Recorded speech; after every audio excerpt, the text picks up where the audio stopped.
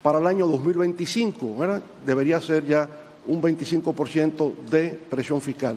Eso estableció a través de la Estrategia Nacional de Desarrollo la necesidad de una reforma fiscal mediante un pacto fiscal.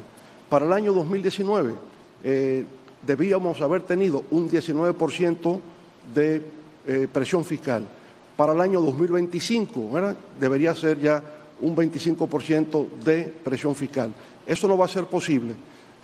Ahora resulta importante el que nuevamente se convoque a un pacto fiscal, que los diferentes sectores puedan intervenir sobre este particular y definir el futuro de lo que puede ser esa presión fiscal. Se requiere porque República Dominicana sigue estando por debajo del promedio latinoamericano, 21% de presión fiscal. Algunos países como Brasil, Argentina por encima de 30%, nosotros seguimos en 15%.